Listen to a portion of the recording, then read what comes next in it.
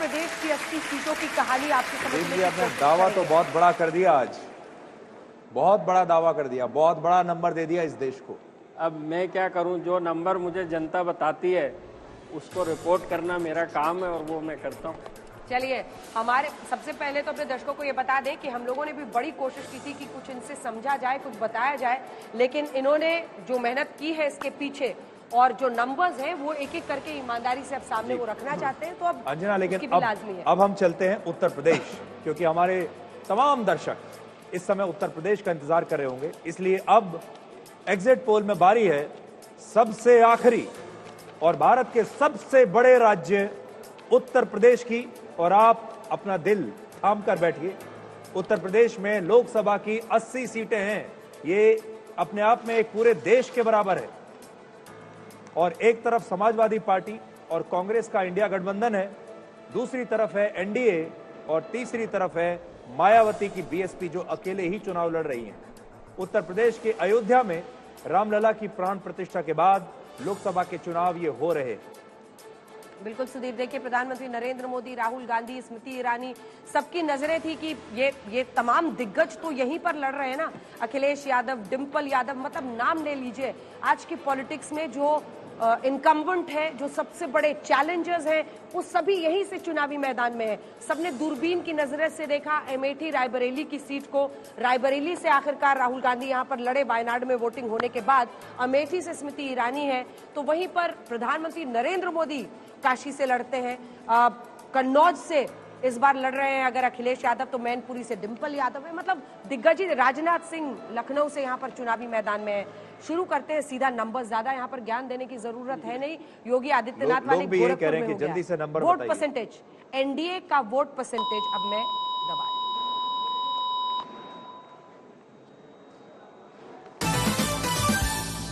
49 percent यानी status को हम बताएँ 49.98 परसेंट सिर्फ़ बीजेपी का था। अपना दल का लगभग डेढ़ फ़ीसदी था। पचास परसेंट पिछली बार था बीजेपी और आरएलडी का भी करीब ये था तो एक दो फ़ीसदी का लेकिन RLD उधर पूरे- थी, दूसरी दूसरी तरफ़ थी आरएलडी दूसरी तरफ़ थी आरएलडी तो 49 परसेंट है। अब हम आपको इंडिया गठबंधन का क्योंकि यहाँ पर कांग्रेस और समाजवादी पार्टी का अलायंस है बीएसपी अलग से लड़ रही थर्टी थर्टी नाइन परसेंट यानी दिलचस्प बहुत अंतर है। बहुत बहुत बड़ा अंतर है। अब सीधा सीट्स पर चले। चलते हैं। सीधा सीट्स पर चलते हैं। एकदम सस्पेंस खत्म करते हैं आपके लिए। आपको भी समझ में आ जाएगा यहाँ से क्या कहानी है, ये देखिए, एनडीए। सड़सठ से बहत्तर यानी आप कह रहे हैं कि 2014 की परफॉर्मेंस को भारतीय जनता पार्टी यहाँ पर रिपीट कर सकती है अपने गठबंधन के साथियों के साथ लेकर। देव जी ये हो क्या रहा है? ये क्या वोटों की सेल लगी हुई है? नहीं आप हा? देखेंगे नहीं सेल तो बिल्कुल नहीं लगी। ये जनता का विश्वास है जो किसी पार्टी के पक्ष या किसी नेता के पक्ष में साफ़ नज़र आ रहा है।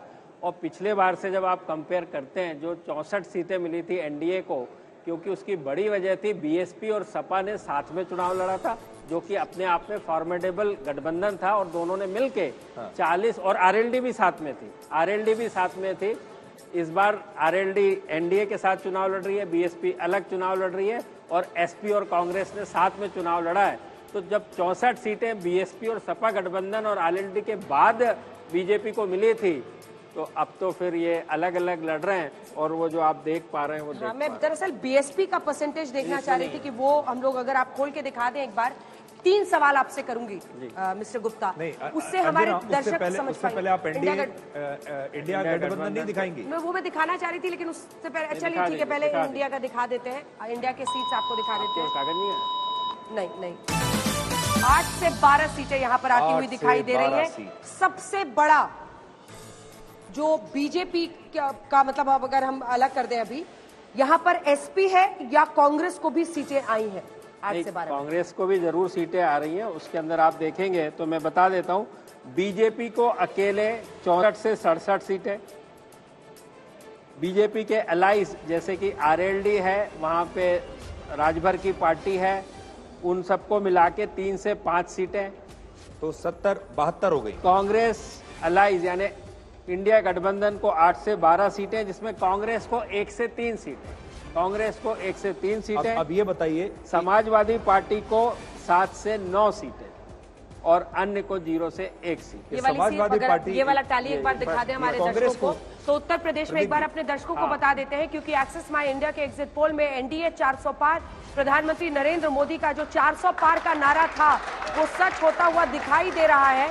और ऐसा लगता है ऐसा लगता है कि एक्सिस माई इंडिया का ये एग्जिट पोल पीएम पहले ही जान गए थे मतलब ये तो शुरुआत में जना कहा था कि दो ही लोग हैं जिनके चेहरे पर बिल्कुल जो निश्चिंत हैं जिन्हें कोई चिंता है ही नहीं कोई स्ट्रेस नहीं है। एक थे प्रधानमंत्री मोदी और दूसरे ये जब प्रदीप जी आए थे हमारे शो में तो ये भी बिल्कुल ऐसे ही थे। हम्म। अब अपने दर्शकों को जल्दी जल्दी से बता देते हैं कि ब्रेकअप क्या है। तो ब्रेकअप में उत्तर प्रदेश में आप कह रहे हैं कि सतसठ से बहत्तर सीटें एनडीए को आ रही हैं। चौसठ से सतसठ मतलब वो अपने बासठ वाली परफॉर्मेंस से दो से पाँच सीटें ऊपर जा सकती हैं। सिर्फ़ बीजेपी अपने दम पर। ये एक मतलब कम से कम अब इसके बाद ये आकलन होगा कि क्या राम मंदिर का असर हुआ। अब जल्दी से आगे बढ़िए। तो बीजेपी की जो एलाइज है, अपना दल, दो सीटें जो उनको मिलती हैं, जिसमें मिर्जापुर में खुद अनुप्रिया पटेल चुनावी मैदान में लड़ती हैं वो वहाँ पर जीतती हुई दिखाई दे रही हैं। और वहीं बीजेपी के एलाइज को तीन से पाँच सीटें आ रही हैं, जिसमें सुभाषपा आरएलडी एडीएस हम क्या माने, दो सीटें मिली थी उनको भी आरएलडी को? क्या माने दो किसको क्या सीटें है? आरएलडी को पिछले बार नहीं मिली थी आरएलडी इस बार- पिछले बार बार- इस बार दो सीटें आरएलडी को मिलती हाँ। दिख रही है जो उन्होंने बागपत और बिजनौर से कॉन्टेस्ट की हाँ तो वो दोनों सीटें जीतते हुए दिखाई दे जी, रहे हैं। बिल्कुल। दोनों सीटें जीतते हुए दिखाई दे रहे हैं ये वही है जहाँ पर जयंत सिंह और अजीत जयंत चौधरी। चौधरी और अजीत सिंह ने अपनी चौधरी सीट पिछली बार गवा दी थी या। इसी आरएलडी ने मतलब अपनी सीट अजीत सिंह पिछली बार नहीं बचा पाए थे, जयंत चौधरी नहीं बचा पाए थे, वो बीजेपी के साथ मतलब ये एक नेचुरल अलायंस शायद जनता ने समझा और वो पहुँच गए हैं।